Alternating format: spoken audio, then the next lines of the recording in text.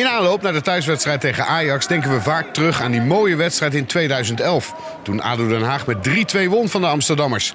Timothy de Rijk scoorde destijds de winnende goal. Hij kijkt dan ook met plezier terug op die wedstrijd. Nou ja, zeker. We hebben we hadden in de eerste seizoen zelf ook al tegen Ajax gewonnen. We wilden dat graag heel, uh, ja, nog een keer herhalen, zeg maar. En uh, dat is ons ja, op een manier gelukt waar dat, uh, ja, heel het stadion gelukkig kon van genieten. Want even voor mensen op terug te halen, je maakte toen de beslissende 3-2, wat uiteindelijk drie punten opleverde tegen Ajax. Ja, precies. Ik denk dat dat het pas in de, in de slotminuten was, dat het rond de 88, 89ste minuut was. En uh, ja, de ontlading dan is zo immens, zo uh, groot, dat we, dat we het weer geflikt hebben. En uh, dat kon je ook wel aan de supporters, aan de spelers, aan iedereen zien dat ADO een warm hart toedragen. Een van de mensen die live de wedstrijd van dichtbij meemaakte was keeper Rodi de Boer.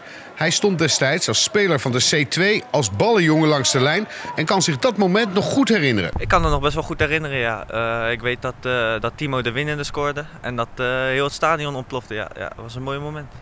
Ging je zelf toen ook een beetje uit je dak? Ik ging zelf ook uh, best wel uit mijn dak, ja. ja was, uh, zeker omdat het tegen Ajax was. Dus uh, wedstrijd van het jaar natuurlijk. En, weet je nog hoe oud je toen was en welke elftal je speelde?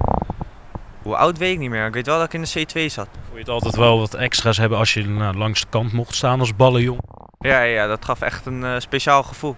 Zeker omdat dat waren toen wel de spelers waar je naar opkeek, zeg maar. En dan was het wel extra speciaal dat je, dat je zo dicht bij het veld kon staan. Zeg, je keek naar spelers op. Timothy zat toen al bij de selectie. Nu weer zit je bij hem in de groep. Kijk je nu, hoe kijk je nu tegen hem aan als je, zo, zoals jullie nu samen in de selectie?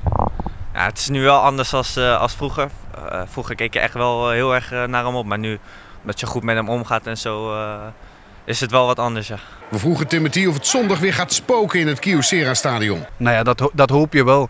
Uh, anderzijds, we weten dat we de, de heenwedstrijd uh, ja, eigenlijk zwaar verloren hebben. Dat we, dat we een heel moeilijke wedstrijd ga, uh, gehad hebben. Maar dat willen we graag rechtzetten omdat we um, een goed elftal hebben. Dus dat we beter op elkaar zijn ingespeeld.